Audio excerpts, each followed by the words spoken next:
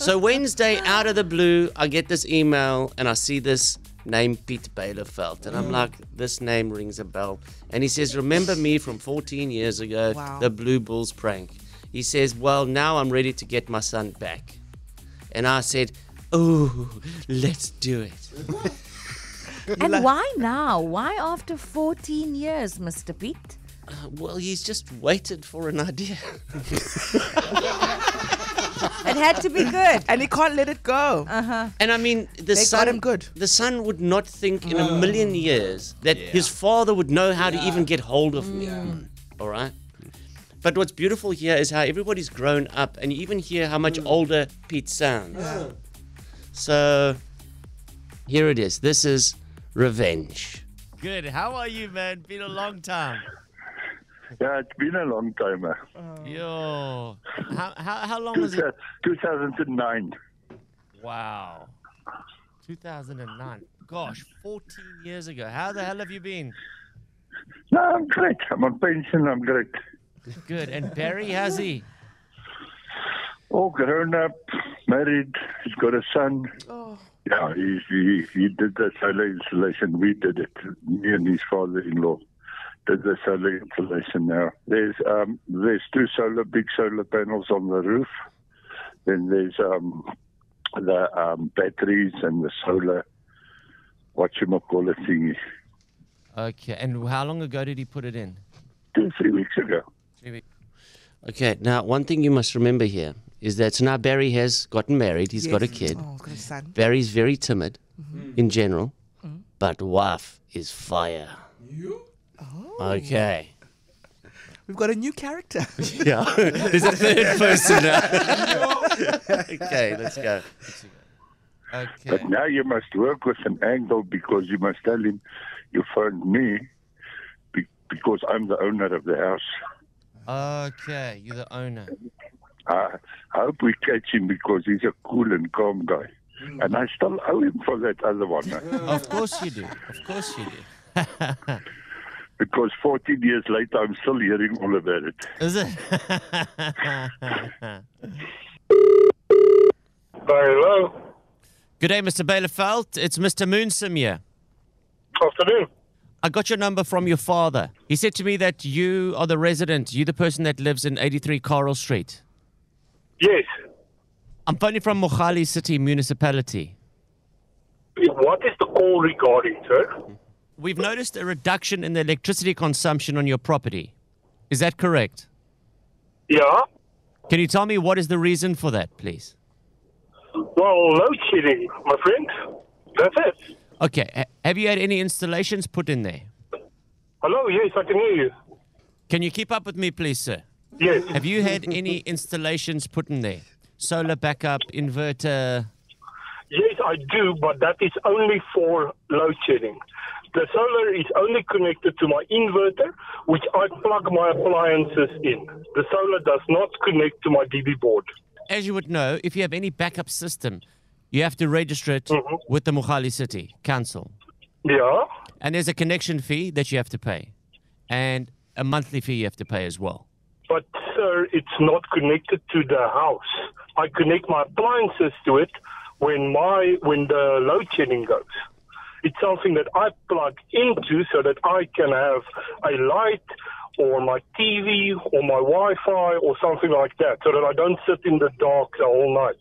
When the rest of your area is out and inconvenienced, you've got convenience, right? Yeah, because I paid for that out of my pocket. Mm. So you pay for the convenience, mm. and you got to pay every month now for having that convenience to Mogale City. You understand? Yeah, I understand. it's not connected to the house. It's something independent. It doesn't matter. Doesn't matter. So what is the fee then? The fee is going to be a thousand two hundred rand per month. What? A thousand two hundred rand per month. So that's ridiculous. For something that I'm not pulling power, I'm still keeping getting power from Eskom. When the power goes off at four, I just switch my thing on so that I have power, so that I can cook food, so that I can take a shower, so that I don't sit with a four-year-old in the dark. You understand? But you've got convenience. That's what I'm saying. So there's also a connection fee that I need to tell you about of five thousand rand that you have to pay. Where, where, Where in the law does this rule come in? Yeah, she comes. Uh, what connection? So when you are watching your TV show and everyone else in your neighborhood is not watching, do you think that's fair? Where in the in the law does this rule come in? For what connection fee, sir?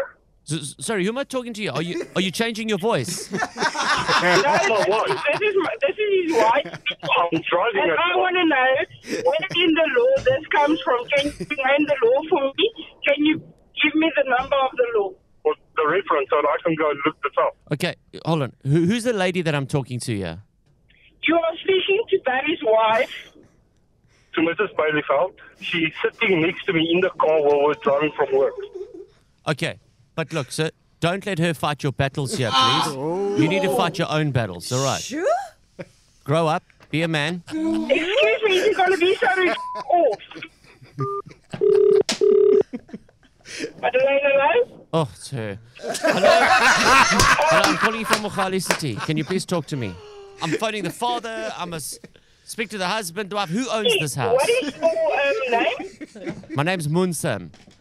Yes. Yeah. Yeah, Munsam is Whoa. Yeah, you're the only that will tell me that uh, a wife mustn't fight the battles. You know what?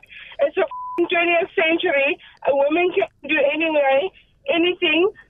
Okay, well, actually, in the 20th century, women weren't allowed to speak.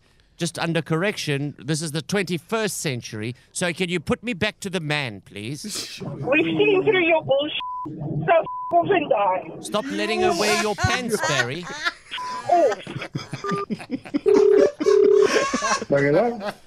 Hello, sir. Can we please sort this out once and for all? You're giving me the runaround.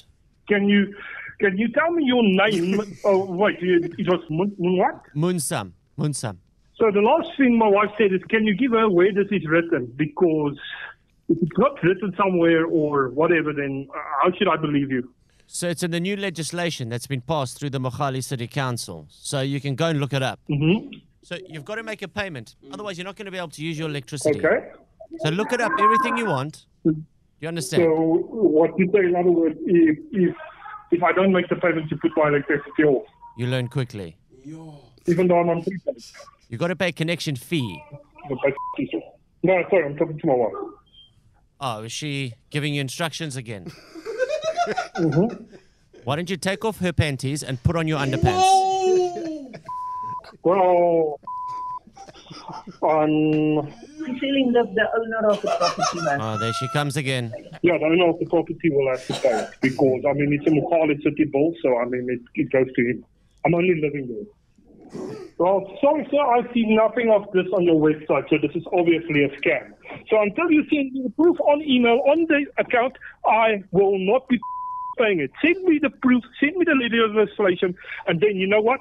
Then we'll look into it. But your website says absolutely nothing about it. I'm on it at the moment. The last thing was alternative access to clean and safe drinkable water, which is in Feb. So, you, goodbye. So the other option that you have is uh, to give back to the community for your uh, convenience. You can shave 300 rand off of that bill by simply throwing a plug over the wall and connecting it into the nearest traffic light so that that traffic light works. So therefore, it's a win for you and it's a win for Mogale City. It's up to you to decide if you want that 300 rand rebate, but you have to power the traffic lights in your area.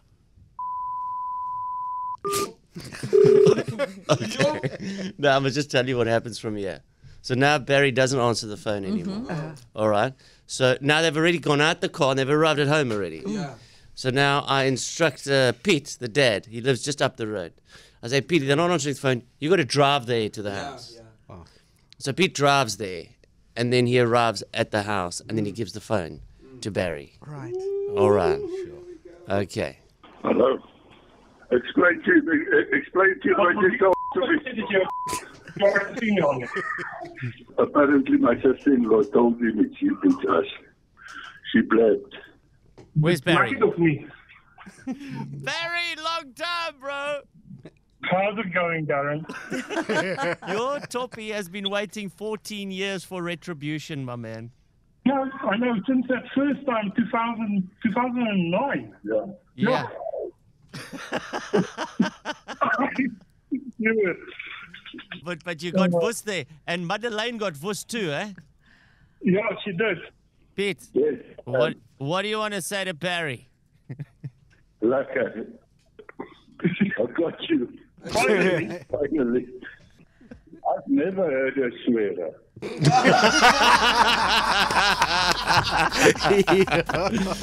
there we go. Well, maybe there'll be part three starring Madeleine. we'll see.